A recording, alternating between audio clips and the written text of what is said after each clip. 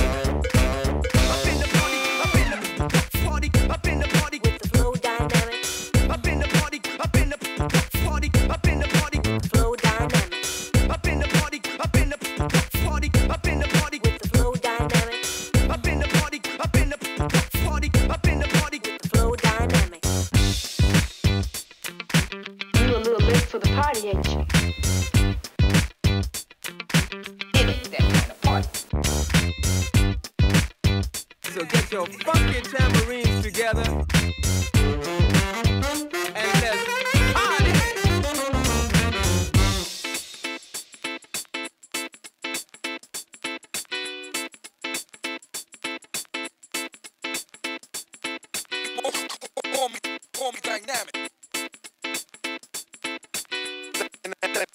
Dynamics.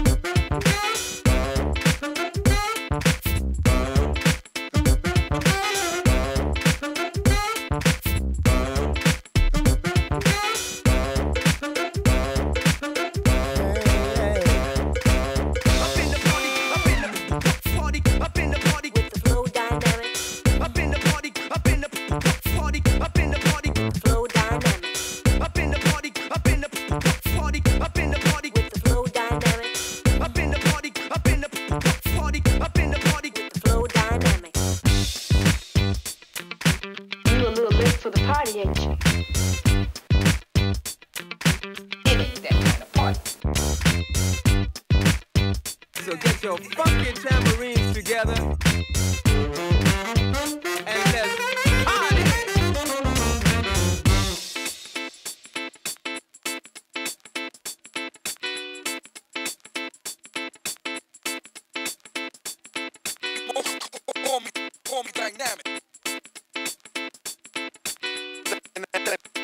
dynamics.